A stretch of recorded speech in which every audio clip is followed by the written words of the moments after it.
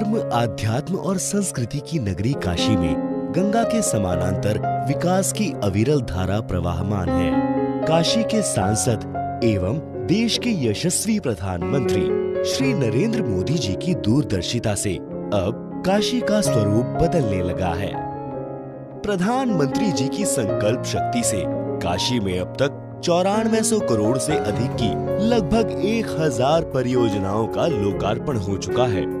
काशी में चतुर्दिक विकास के लिए हवाई अड्डे के उन्नयन से लेकर राजमार्गों, सेतु, जलीय परिवहन, शिक्षा, स्वास्थ्य, पर्यटन एवं सांस्कृतिक उत्थान की कई परियोजनाओं का लाभ काशी वासियों को मिल रहा है।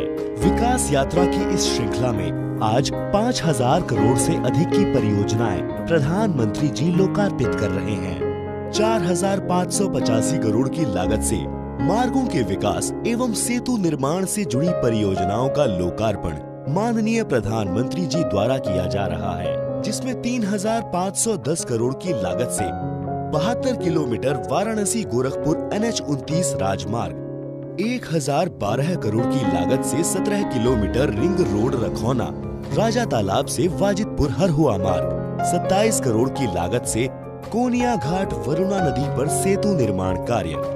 20 करोड़ की लागत से बाबतपुर कपसेठी मदोही मार्ग पर डबल लेन कालिका धाम सेतु।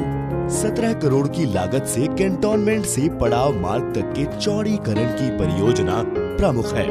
इन परियोजनाओं के लोकार्पित होने से अब प्रयागराज, दिल्ली तथा कोलकाता के वाहनों को शहर से होकर नहीं गुजरना पड़ेगा। साथ ही साथ कुशीनगर और नेपाल जाने में भी समय एवं ईंधन की बचत होगी। और यातायात भी सुगम होगा। गंगा को प्रदूषण मुक्त रखने और घाटों को स्वच्छ रखने के उद्देश्य से जो परियोजनाएँ लोकार्पित हो रही हैं, उनमें तिहत्तर करोड़ की लागत से रामनगर में 10 एम क्षमता की एसटीपी एवं सीवर लाइन 202 करोड़ की लागत से वरुणा नदी के चैनलाइजेशन एवं तटीय विकास कार्य। 18 करोड़ की लागत से कैथी में मारकंडेय एवं संगम घाट का निर्माण तथा गंगा के पाँच घाटों का पुनरुद्धार कार्य प्रमुख है। 11 करोड़ की लागत से गोदौलिया दशाश्वमेध मार्ग पर पर्यटन विकास कार्य पूर्ण कर लोकार्पित किए जा रहे हैं। साथ ही दो करोड़ की लागत से शूल टंकेश्वर घाट भी लोकार्पित हो रहा है।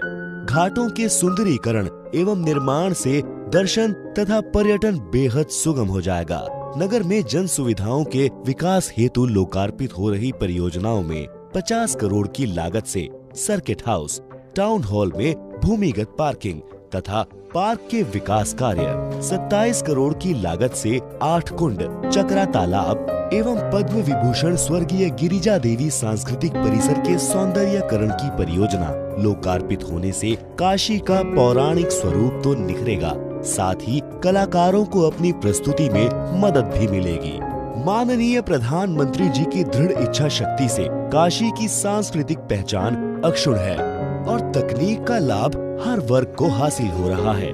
तेईस करोड़ की लागत से शहनशाहपुर में लोकार्पित हो रहे बायो सीएनजी प्लांट से खाद के साथ ही सीएनजी गैस भी निर्मित हो सकेगी। 10 करोड़ की लागत से पहाड़िया स्थित लाल बहादुर शास्त्री फल सब्ज़ी मंडी का उन्नयन एवं पशुधन कृषि प्रक्षेत्र अराजी लाइन के आधुनिकीकरण योजना के लोकार्पित होने से यहाँ के किसानों को बेहतर बाज़ार एवं खरीदार मिलेंगे।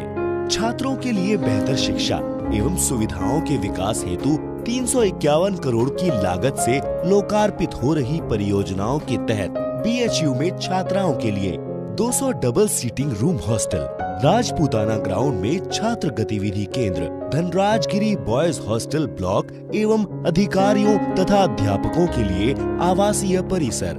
हरहुआ में विज्ञान एवं वाणिज्य संकाय भवन का निर्माण प्रमुख है।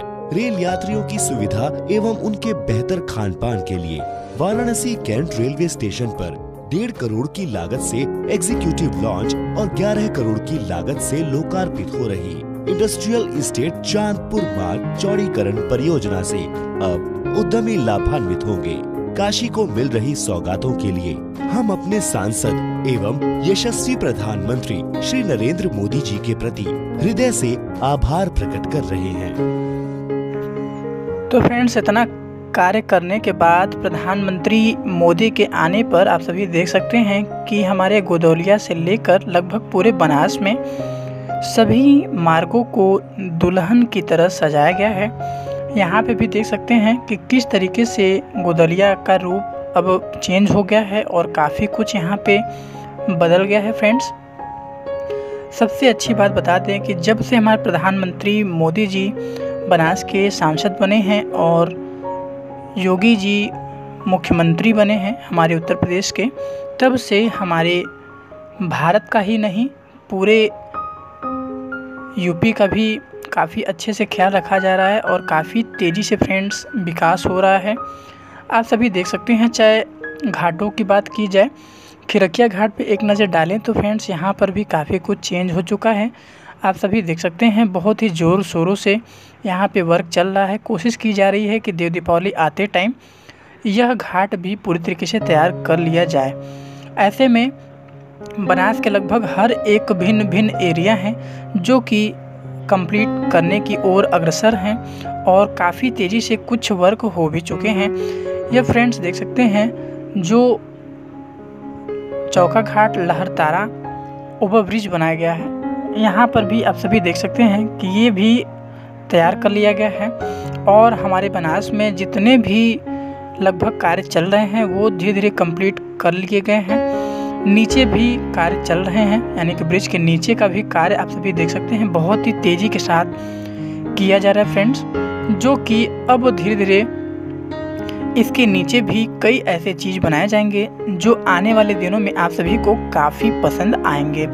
टोल प्लाजा तो बनता ही है, लेकिन इसके नीचे तो ऐसी कई सुविधाएँ होंगी, जो आप सभी को जल्द ही देखने को मिलेंगी। तो दोस्तों, आप सामने देख सकते हैं जो अंतर्राष्ट्रीय बस स्टैंड है, उसको भी डेवलप करने की ज़रूरत है और वो होगा।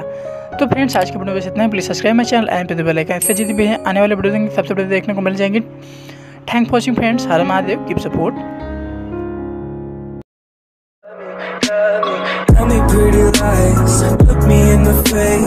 tell me that you love me.